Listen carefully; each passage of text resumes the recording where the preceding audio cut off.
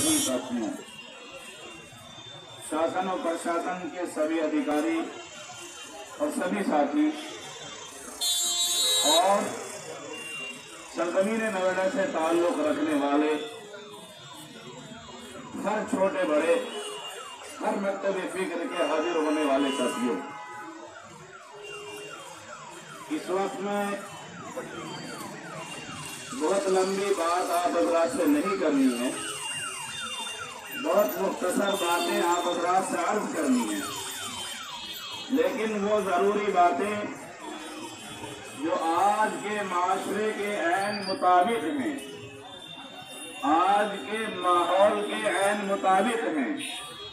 وہ ضروری باتیں آپ حضرات تک پہنچانے کی جسارت کر رہا ہوں۔ میری تمام حضرات سے اپیل و درخواست ہے۔ ان چند لمحات کی ان ضروری باتوں کو بہت ہی توجہ سے سماعت فرمائیں۔ بہت ہی توجہ سے سنیں اور دل کے کانوں کو کھول لیں۔ دل میں اپنی با... ان باتوں کو جگہ دیں۔ تو میں امید کر سکتا ہوں کہ اگر ہم نے ان باتوں کو دل میں جگہ دی، تو انشاءاللہ شاء انشاءاللہ پہلے مرحلے میں ہمارا ملک ہندوستان اور اس سے چلتے چلتے چلتے چلتے چلتے پوری دنیا میں امن کا ایک پیغام پہنچے گا اور انشاءاللہ پورے دنیا میں جو امن کو ماحول کرنے والی فرقہ پرست طاقتیں ہیں، وہ کمزور ہوں گی اور جمہوریت کے نظام کو ترقی ملے گی اور پوری دنیا جمہوریت کے نظام کو آنکھوں اور سینے سے لگا کر انشاءاللہ سکون کا سانس لے گی۔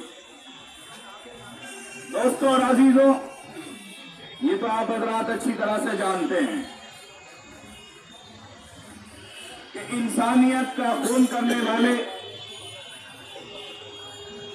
وہ انسانی شکل میں درندے تو ہو سکتے ہیں، انسان نہیں ہو سکتے۔ ان کا ظاہری طور پر جسمانی اعتبار سے چاہے انسانیت سے ان کا تعلق ہو، وہ کہنے کے لیے انسان اور آدمی کہے جاتے ہوں، لیکن جو انسانیت کا خون بہانے والے ہوں، انہیں ہمیشہ سے ظالم کہا گیا ہے، دہشت گرد کہا گیا ہے۔ چاہے وہ کسی بھی شکل میں اظہار کریں اپنی شکلوں کا، لیکن وہ ہمیشہ ظالم رہے ہیں اور ظالم رہیں گے۔ اور اس ظلم کو ختم کرنے کے لیے جن لوگوں نے قربانیاں دی ہیں، وہ ہمیشہ سے سرخرور رہے ہیں ہیں اور قیامت تک انشاءاللہ کامیاب رہیں گے۔ ظاہری طور پر اور وقتی طور پر، چاہے ان کی ناکامی نظر آ رہی ہو، چاہے وہ ناکام نظر آتے ہوں، لیکن قیامت تک کے آنے والی انسانیت ان کو کامیابی کے ساتھ یاد کرتی رہے گی۔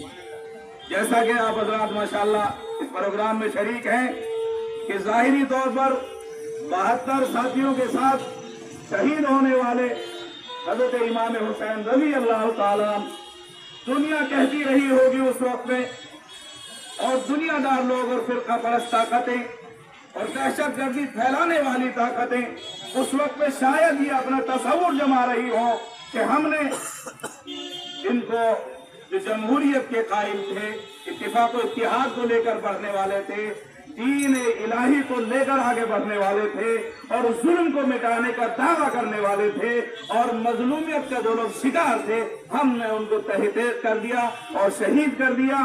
دنیا اس وقت بھی کہتی رہی ہوگی لیکن قیامت تک آنے والی انسانیت جانتی ہے کہ امام حسین نے انسانیت کو زندہ کیا زندہ ہے اور قیامت تک انشاءاللہ زندہ ہے